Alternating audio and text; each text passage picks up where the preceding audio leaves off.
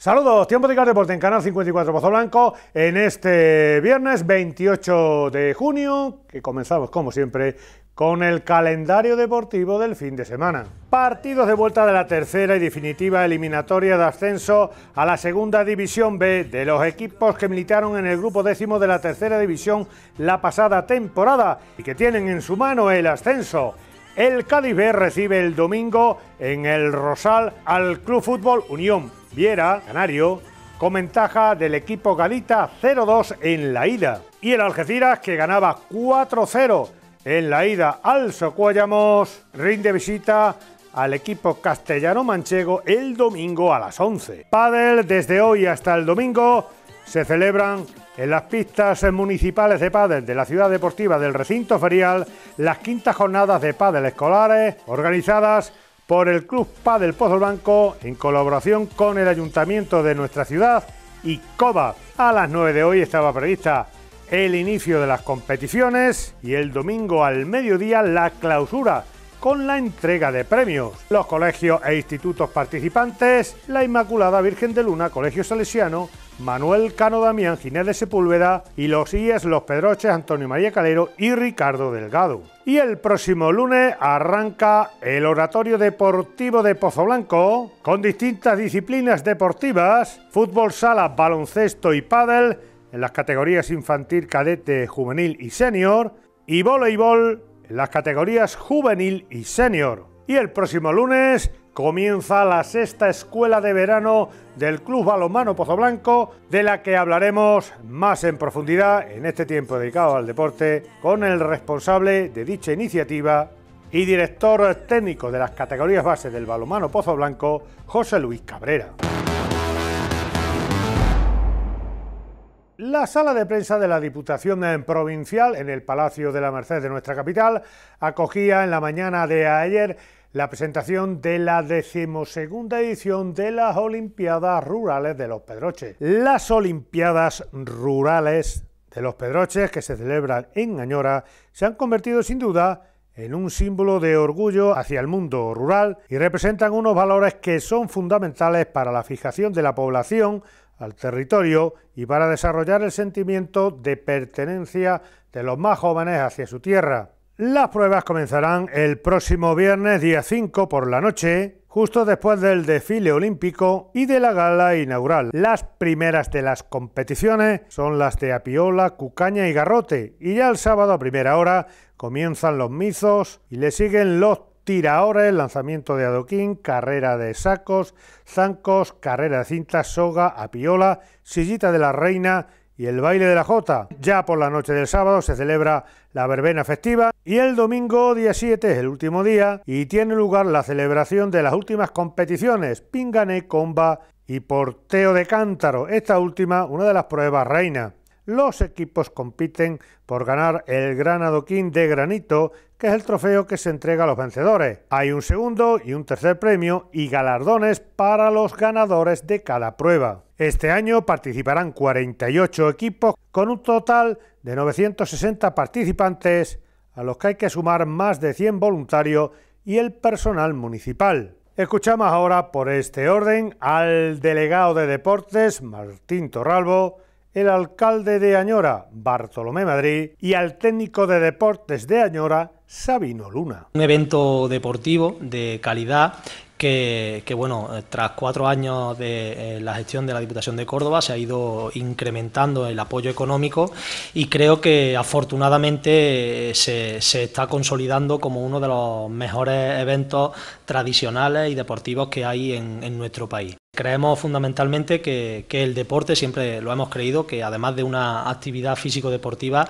también es un importante impulso en el, devenir turístico de, nuestra zona y qué mejor que un evento como este, con una magnífica organización, pues para evocar eh, a través del deporte lo que son los, juegos tradicionales de nuestros padres, de nuestras madres, de nuestros abuelos y abuelas, para que, que no se pierdan a lo largo del tiempo. Es un evento que este año queremos destacar también, en, ahora que se habla tanto del mundo rural y que todo el mundo quiere que ese mundo rural, que pierde población, eh, bueno, pues vaya más y se tomen medidas para fomentar el que esa lacra de la despoblación deje de, deje de ser una espada de Damocles en ese mundo rural. Nosotros reivindicamos la cultura y reivindicamos eh, este, este, tipo de eventos, reivindicamos este tipo de eventos deportivos basados en esa cultura y en, esa y en esas tradiciones como elementos clave y elementos activos de desarrollo, ¿eh? elementos clave para que ese mundo rural mm, sea cada día más atractivo para vivir, sea cada día un, mundo en el que hay un medio en el que las personas quieran desarrollar un proyecto de vida. No me equivoco si digo que es un evento ya imprescindible en el verano de los Pedroches, en el que de nuevo 48 equipos van a participar. De nuevo reunimos a más de 100 voluntarios organizando este evento. Y, de nuevo tenemos que dejar fuera a, seis equipos eh, que, bueno, pues que han querido también participar, pero que no, no podemos darle cabida porque más, ir más allá de los 48 equipos. Eh, pensad que estamos hablando de 48 equipos de 20 personas.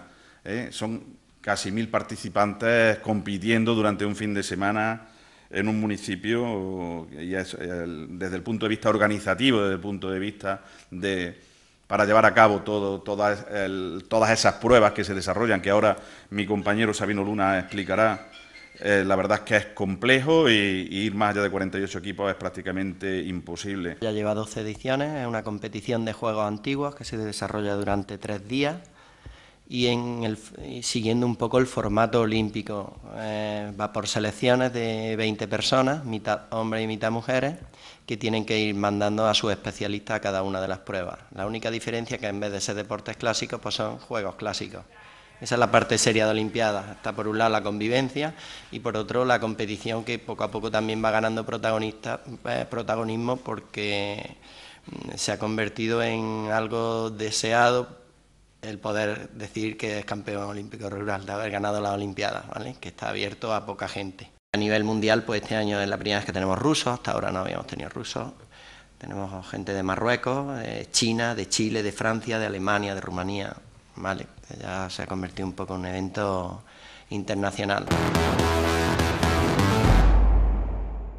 El próximo lunes comienza la sexta escuela de verano organizada por el Club Balomano Pozo Blanco.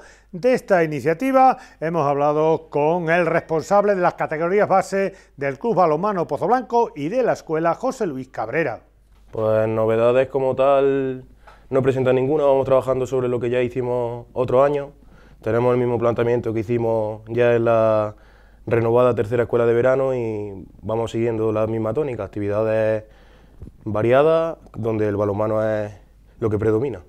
Aparte del balonmano, ¿qué otras más disciplinas deportivas vais a tocar? Pues mira, este año la verdad que sí, es que es nueva que vamos a ir al Círculo del Caballo, que ya tenemos un acuerdo con ellos para que vayamos dos días por allí y nos hagan actividades para los niños. Volvemos al gol, como casi todos los años hemos ido. Eh, volvemos a la educación vial, que el año pasado pues, no pudimos ir por razones personales del monitor de educación vial y, y no pudimos ir, pero este año lo retomamos y, tenemos actividades en, los campos de césped, aparte del balonmano. Y sobre todo la piscina, que es lo más importante. Por llamarlo de alguna manera, el cuartel general de esta escuela de verano, ¿dónde va a estar? Pues mira, pues estaremos instalados en, el pabellón multiuso, que está adaptado para usarlo para todas las modalidades, pero donde más hemos entrenado, que allí en la, la caseta esta que se usa por los caballos, que han puesto la pista. Allí estaremos y allí jugaremos balonmano, haremos juegos, nos lo pasaremos en grande. Comienza este próximo lunes y nos lleva hasta agosto, ¿no? Sí, nos vamos hasta el 2 de agosto porque terminaba el mes un miércoles, si no me equivoco, y decidimos ampliar hasta el viernes para hacer la clausura de la piscina. ¿Todavía están abiertas las inscripciones? Sí, nosotros en realidad, aunque en el cartel hemos puesto que están cerradas, están cerradas hasta el día 30, que se cierran el día 30, hay mucha gente que se apunta la última semana, hay gente que se apunta las tres últimas semanas, entonces las mantenemos abiertas durante todo el mes. Entonces estamos abiertos todo el mes de julio y lo que queda de junio. ¿Qué coste tiene esta escuela de verano, José Luis? La verdad que para las horas que estamos, que hemos ampliado también el horario, antes era, si no me equivoco, de 10 a 1, ahora es de 9 y media a 1 y media, eh, por el tema de que los padres lo sueltan antes y lo recogen después por el tema laboral. Es una facilidad por los padres que nos lo pidieron y lo hemos escuchado y lo hemos hecho. Pues tenemos 75 euros al mes, tenemos 50 euros dos semanas y una semana cuesta 30 euros. De lunes a viernes, ¿no? Viernes, de lunes a viernes. De lunes a jueves tenemos de nueve y media a una y media. Si vamos a los caballos, a los caballos incluso a lo mejor ampliamos hasta las dos porque hemos llegado a un acuerdo con el ayuntamiento para que nos dejen dos horitas del camping, para la piscina, que es lo que más les gusta a los niños, remojar si se pega mucho puzón. Y hemos ampliado un poquito más ese día, pero eh, la verdad que, y los viernes pues tenemos de 12 a 7, que es donde mejor se lo pasa a los niños, que es un día intensivo en la piscina del camping. ¿Cómo va el tema de las inscripciones? Aunque aquí siempre aguantamos casi hasta ultimísima hora, ¿no? Eh, supongo que le pasará a todos, tenemos los, los fijos, como así se dice, que, que, sabemos que contamos con ellos y que o se van apuntando durante el periodo de inscripción o lo dejan todo por última hora, tenemos los que se apuntan durante el periodo de inscripción, pero tenemos los que inesperadamente nos encontraremos el lunes con, con sorpresa y, y con ganas de conocerlos. Son varios los clubes que organizan escuelas de verano sobre este mismo mes. Eh, la gente se, se, reparte y, claro, ¿no? vende lo tuyo. ¿Por qué es la mejor la escuela de verano de balonmano? No sé si será la mejor o no será la mejor, pero son las que más hacemos con más ilusión, las que más ganas le ponemos seguro. A ganas no nos supera nadie, nos igualarán, pero a ganas no nos supera nadie, ilusión tampoco. Y, y yo tengo la experiencia de otras escuelas de verano y hemos estado muchos niños y no lo hemos pasado en grande, y el año pasado tuvimos menos y nos lo pasamos en grande. Entonces, vengan los que vengan, serán bienvenidos y nos lo pasaremos en grande. ¿Cuántos monitores estáis? Estamos tres en principio, en principio tres, si no nos llevamos alguna sorpresa de que se apunten muchos niños que no tengamos que ampliar, ojalá sí, pues seremos Jorge López, que está de entrenador en las categorías inferiores, eh, Juan Jesús González, que está, estuvo de ayudante mío, está metido ahí en el tema de balonmano, que le gusta mucho y tal, y un servido. ¿Escuela, algo más que quieras apuntar? nada más que sí, animar a todos los niños y niñas de Pozo Blanco, que como han hecho algunos amigos y amigas a través de las redes sociales, nos han mandado algún vídeo de, ánimo, como nos ha mandado eh, nos ha mandado Esperanza López del Clínica Rincón, nos ha mandado Alicia Torres, que está en San José, en Lanzarote ahora, que era el jugadora de SAL, nos ha mandado Fernando Torres, que acaba de firmar por Palma del Río, amigos y amigas del balonmano que se, que se preocupan por esto del balonmano y aunque seamos de distintos clubes siempre animan a los niños a que hagan este deporte porque es lo que aman. Quiero agradecerle a ellos también que hayan puesto su granito en animar, ojalá y puedan venir por aquí a hacer una visita, que es una de las cosas que tenemos también, que, que venga algún jugador o jugadora algún entrenador o entrenadora a visitarnos y a contarle a los niños cómo, cómo es esto del mundo del balonmano a nivel de más alta categoría. Y, y quiero animar a todos los niños y niñas que se apunten porque nos lo vamos a pasar en grande, estoy seguro. Aprovecho y te felicito ¿no? por tu nuevo cargo en el club. La pasada temporada era Pepe Eduardo Córdoba, quien era el responsable de las categorías bases del Club Balonmano Pozo Blanco. Y este año te haces cargo tú, una función que tampoco te es ajena porque llevas muchos años trabajando con, eh, con la base, ¿no? Sí, como bien dice, llevo ya me parece que esta es la sexta temporada que estoy aquí en el club como entrenador, como jugador pues llevo desde los 14 años, 15, eh, y la verdad que para mí esto me lo tomo como un premio, no me lo tomo como que me ponga en un cargo que sea más que nadie, yo me lo tomo como un premio al trabajo que llevo desempeñando tanto tiempo, pero que seguiré haciéndolo igual, no porque sea un coordinador voy a hacer más ni menos, sino voy a hacer lo mismo, voy a trabajar por la cantera, voy a moverme por la cantera como siempre he hecho y, y vamos a darlo todo por los niños. ¿Tienes en mente ya el libro de ruta? ¿Quieres hacer algo eh, novedoso? ¿Por dónde va a ir tu trabajo? La verdad que tenemos varias cosillas pinceladas ahí, dando unas pinceladas. Eh, como el número de entrenadores aquí cualificados no tenemos mucho, pues, y la federación es exigente en cuanto al título, pues seguiremos contando con los que hasta ahora tienen. Jorge se está intentando sacar el título por todos los medios, ahora se ha suspendido el curso de, de Córdoba, entonces está intentando sacárselo por, por tenerlo porque es obligatorio. Yo seguiré entrenando al Alevín, los benjamines seguiré con ellos y, y, este año, como no hay sección femenina en principio, porque no sabemos si tendremos niña o no, pues he decidido coger el infantil masculino. Jorge se podrá hacer cargo del cadete si se saca la titulación y Domingo seguirá con el juvenil y con el senior B. Entonces, lo que es el cuadro de entrenadores ya lo tenemos más o menos cerrado, es que no hay más. Entonces, es complicado decir, pues vamos a coger cada uno un equipo, es complicado porque no hay entrenadores. Luego tenemos también pensado, yo tengo pensado a nivel personal, no lo he hecho público todavía, no he hablado con la directiva, va a salir aquí que a mí me gustaría que el año que viene, en verano, pues hiciéramos algo distinto. No la escuela de verano, sino un campus más intensivo y tal, y luego me gustaría sacar a los equipos de Pozo Blanco fuera de Pozo Blanco a jugar un torneo de estos nacional o internacional, como, como fuimos ya en su día con las niñas a la Torrellano Cup, pues me gustaría ir a Toledo ir a alguna, hay torneos en Portugal que son muy interesantes y estamos mirando y a ver cuál puede ser. Hasta hace cuatro días estabais con torneos, ¿no? Hace, hace una semana vino aquí Calamonte a echarnos un partido amistoso, que hicimos buenas migas cuando, cuando vino el segundo, el, segundo nacional suyo a la fase ascenso, hicimos buenas migas con el entrenador, estaba muy interesado en venir.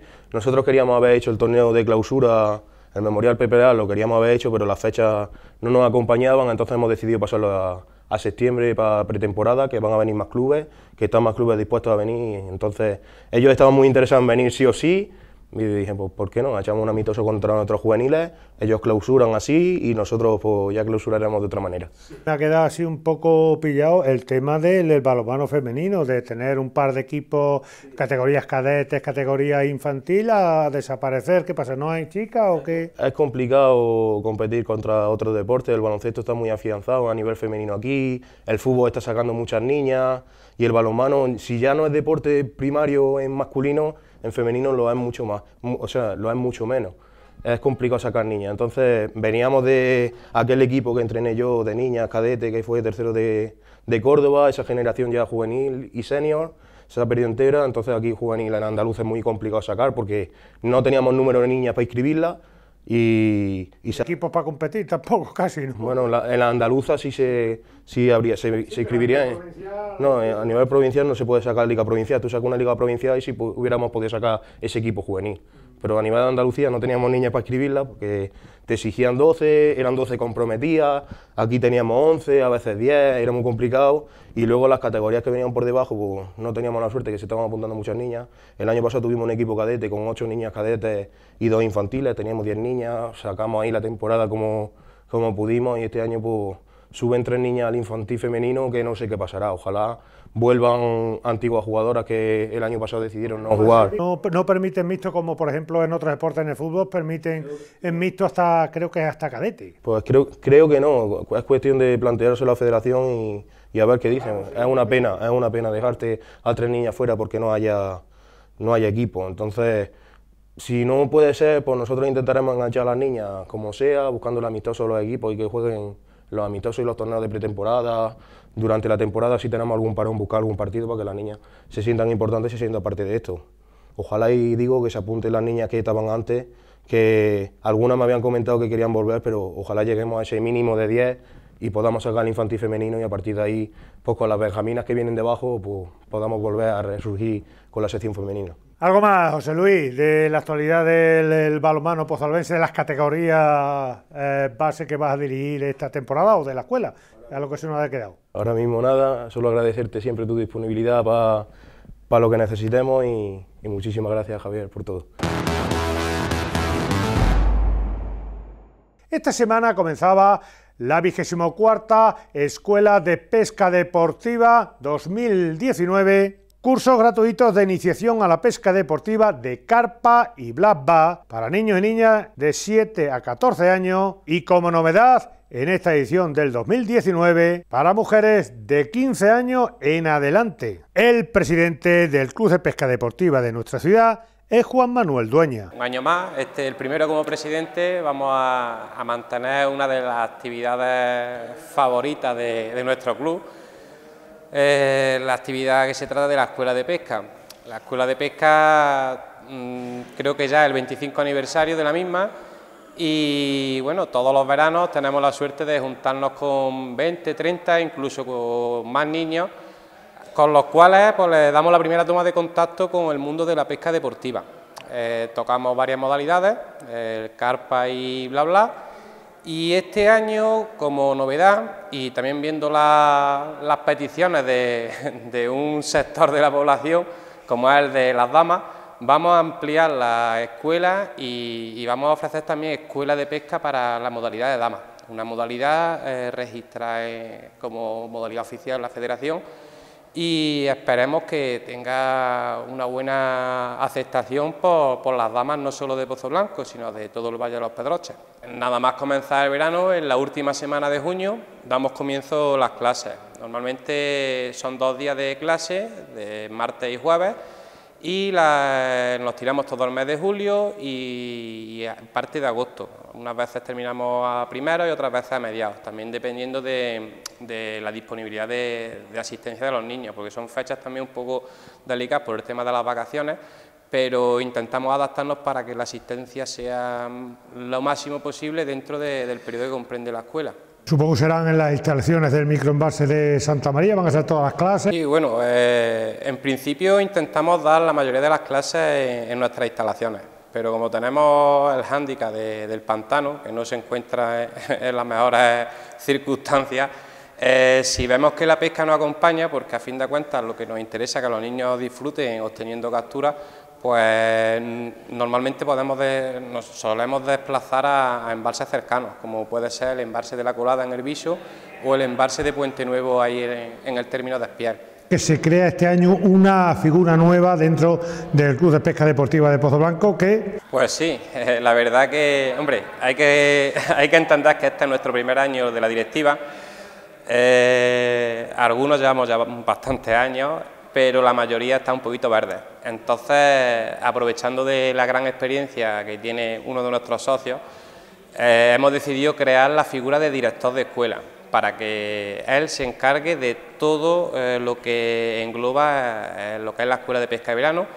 Él tiene totalmente total libertad para hacer y deshacer lo que quiera, porque tiene nuestra confianza y él eh, tendrá a disposición tanto la directiva como los socios y, personas que quieran, que quieran prestarse para, ayudar al tema de la escuela. Eh, la directiva, por unanimidad y sin pensarlo dos veces, hemos pensado que la mejor persona que puede, puede desarrollar esa, ese cargo es Fautino Galán, eh, es presidente del Club de Pesca, pero no por eso se va a desvincular de, de las actividades del club y como sabemos que es una persona muy responsable y, que se dedica en cuerpo y alma en todo lo que hace, pensamos que, que podía ser una gran, podría ser la mejor persona que podría desarrollar ese puesto de trabajo. La directiva me propuso el nuevo cargo este, la verdad está muy bien. Yo me siento muy orgulloso y además ellos saben que yo disfruto con, con los niños, entonces pues la verdad no orgulloso, sino que pego saltos y todo de alegría. Eh, este año, como muy bien ha dicho nuestro presidente, pues eh, a petición de varias, eh, varias madres de socios que son las implicadas, las que nos han hecho llegar a crear una nueva escuela. Yo llamo la escuela desde los 15 hasta los 115 años, es decir, no tienen edad. En ello lo que pretendemos es acercar a, las mujeres también a un deporte que no sé el por qué, pero solamente parece como que es de hombres, cuando no es de hombres. Hay una gran pescadora, disfrutan y es más, cuando le cogen el gusanillo disfrutan más que los hombres, porque no son tan competitivas, ellas van a disfrutar, van a disfrutar y sobre todo llevándose a su hijo, llevándose. Entonces, eh, la idea está ahí, la idea se ha puesto sobre el cartel, eh, salió la conversación, tuvimos el tema y la verdad se ha dicha de que a día de hoy ya hay bastante eh, gente ya apuntada de, mujeres, no sé, ya hay 10 o 12 mujeres apuntadas. Y eso que no se había abierto todavía el plazo de inscripción, es decir, que superior.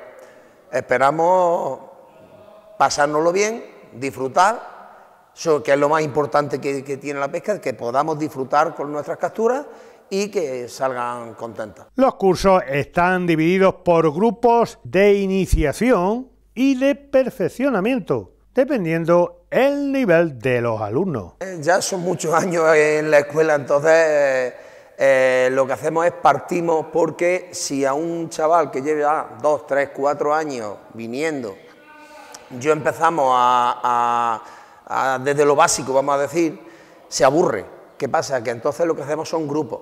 Por suerte tenemos una gran familia, un club que más que club es una gran familia.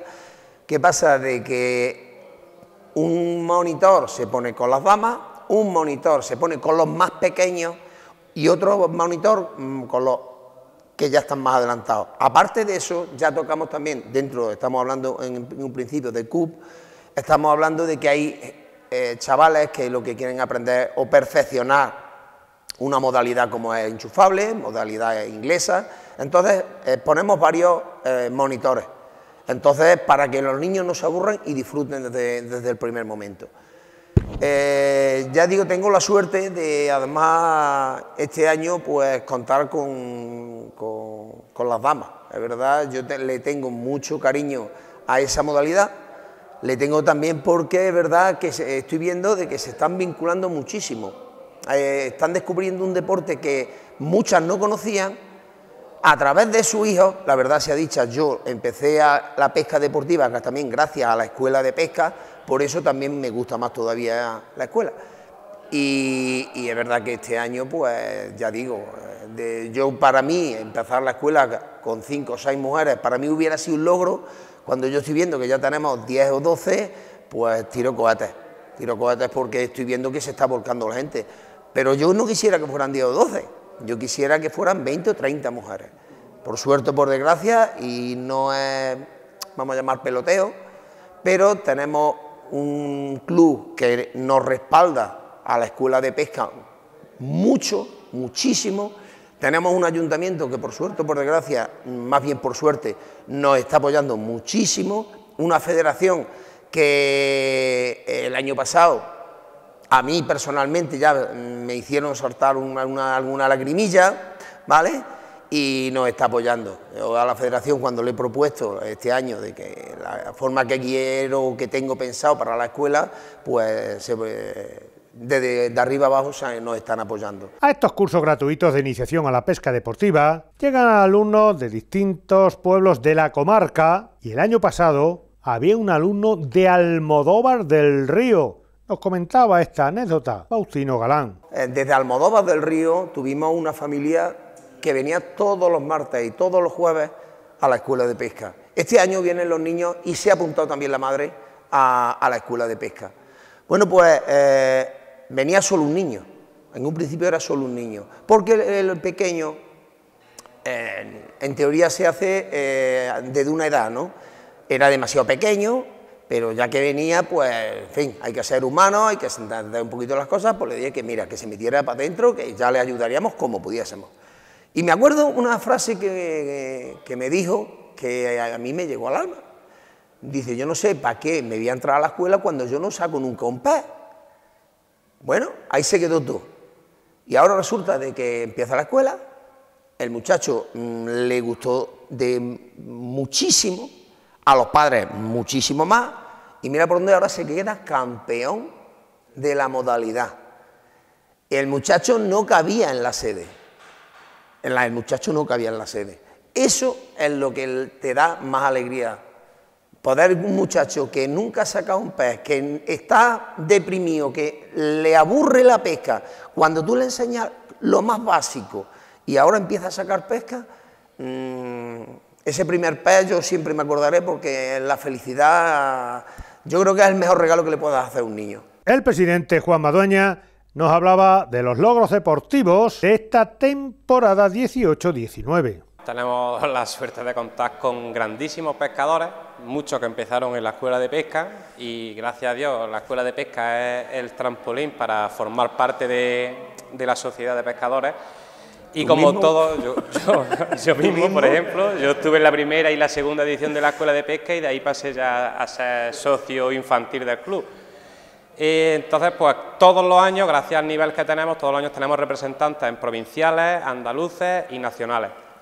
Este año eh, tenemos campeón provincial de, de U21, José Antonio de la Fuente, eh, tenemos subcampeón provincial de U15, Adrián, y un cuarto, un cuarto puesto que obtuvo Javier, también un muchacho que, el año pasado empezó en la escuela y este año pues ya ha quedado cuarto provincial. Además tenemos el subcampeón de Andalucía. Tenemos luego, de ahí pasaron al campeonato de Andalucía, donde José Antonio Lafuente quedó cuarto y Adrián eh, quedó segundo, subcampeón de Andalucía, que tiene en agosto el campeonato nacional. Estamos hablando de niños con 10, 11 años que van a asistir ya a su primer nacional eh, compitiendo con gente con un gran nivel.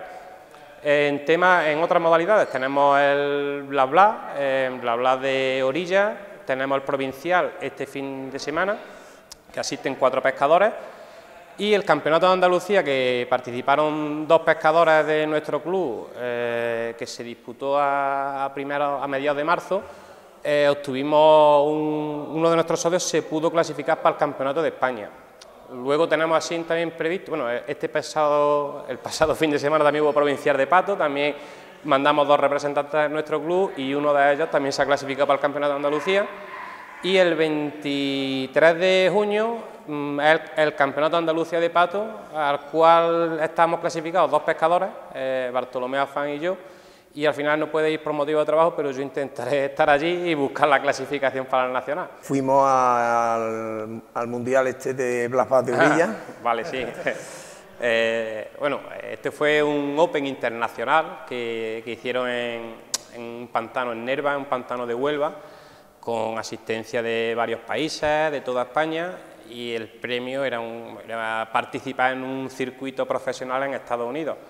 Solo había un premio para el campeón y de aquí fuimos 13 pescadores de nuestro club y la verdad que tuvimos una segunda posición, una tercera posición, una quinta posición, una séptima posición y la pieza mayor, bueno, y también hubo...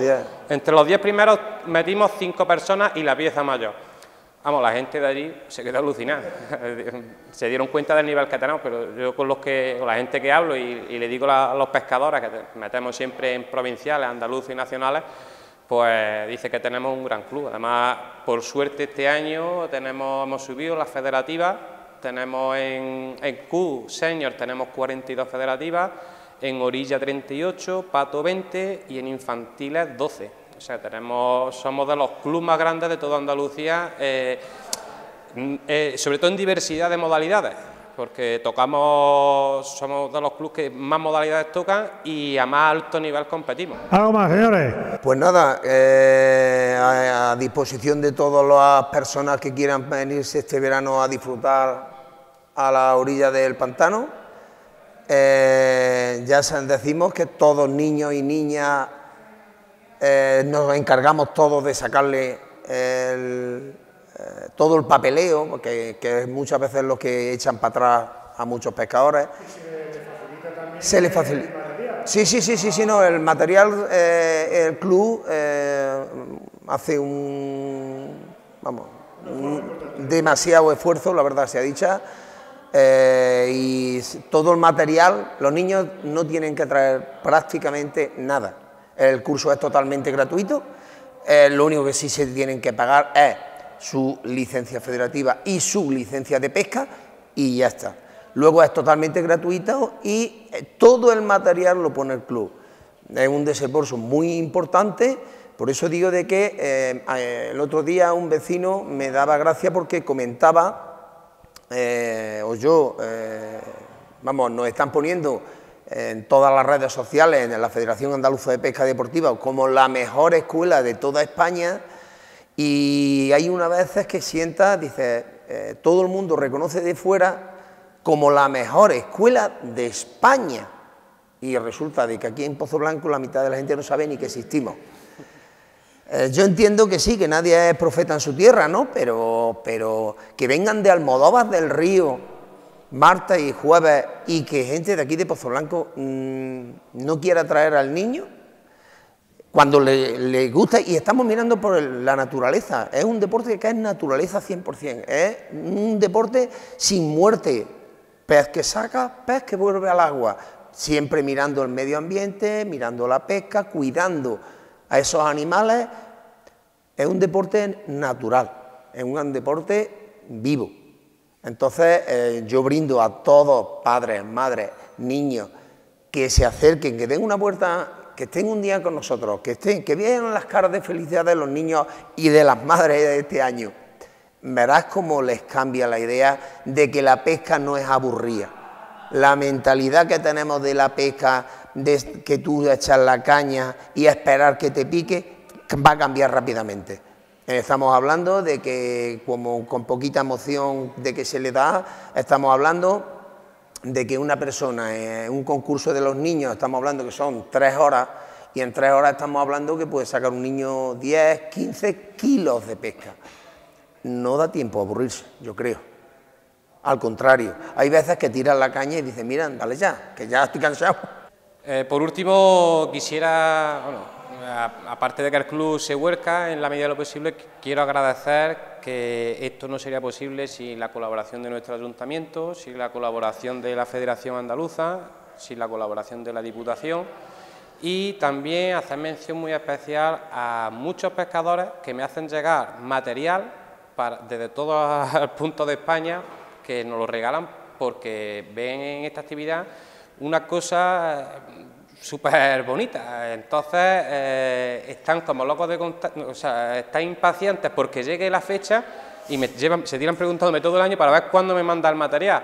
Y por suerte, entre lo que recibimos de, los organismos públicos y lo que recibimos de, aficionados y amigos de nuestro club, eh, podemos darle a los niños todo el material que necesitan para empezar a pescar vamos, de sobra, material de sobra. Y nada, solo animar a todos los niños y damas de, de, aquí, de, no solo de Pozo Blanco, sino del Valle de los Pedroches, y sin tampoco sin apartar a los padres, que también pueden venir perfectamente y aprender con los niños, y, bueno, y aquí tenemos, tenemos el club para lo que necesite y a Fautino para, para que controle el tema de la escuela y, salga todo como rueda, como, como lleva saliendo estos 25 años. Con los cursos gratuitos de iniciación a la pesca deportiva ponemos el punto final a nuestro tiempo dedicado al deporte en este último viernes del mes de junio. El próximo lunes no estaremos aquí, nos vamos a ir unos días de vacaciones, pero toda la actualidad deportiva podrán seguirla en el telediario que conduce nuestro compañero Antonio Arevalo. Gracias como siempre por la atención que nos prestan y hasta dentro de unos días.